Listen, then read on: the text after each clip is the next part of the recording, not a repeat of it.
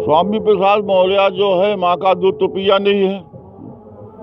वो बंद डिब्बे का पैकेट दूध के बड़ा हुआ है। अगर माँ का दूध पिया होता तो रामचरित मानस पर वो कभी विरोध न करता।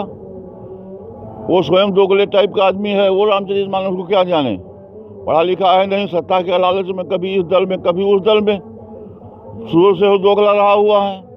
रामचरित मानस के प्रतियाँ जलाकर राम, रामचरित मानस का जो है अपमान करके उन्होंने अपने लिए घातक, घात पैदा किया है।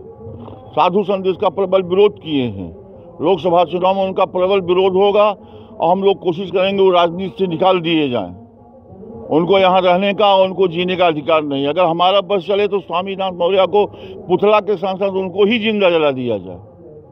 स्वामीनाथ मौर्य जो है, जो हिंदू और सनातन धर्म के खिलाफ काम कर रहे हैं, ये वो गलत कर रहे हैं वो। स्वामीनाथ स्वयं से उनका कोई वजूद नहीं है।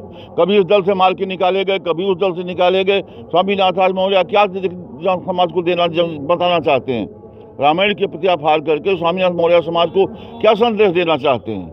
पहले स्वामीनाथ मौर्य, अपने गिरेवान में हाथ झाँक कर देखें। हमारे प्रभु श्री राम पर जो है, उन्होंने जो है, टिप्पणी की है, अपमान किया है, ये कहीं साधु समाज उनको बर्दाश्त नहीं करेगा।